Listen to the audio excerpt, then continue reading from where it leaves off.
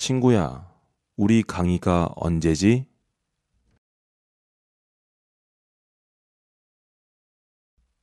Alter, wann ist unsere Vorlesung? 11시부터야. Ab 11 Uhr. 언제까지?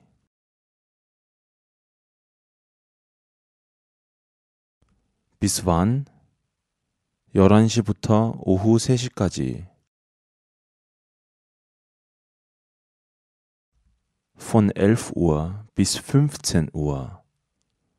우리 방학 이틀 전에도 강의 있어?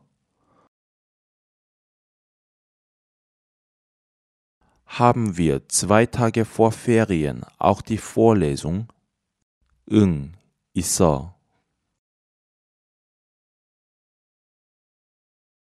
Ja, haben wir. 우리 방학은 언제 시작하지?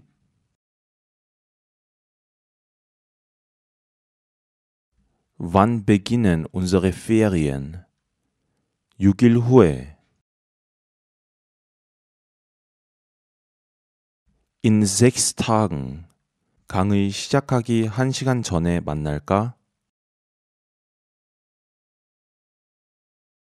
Sehen wir uns eine Stunde vor der Vorlesung? 응, 그러자. Ja, können wir machen. 좋아.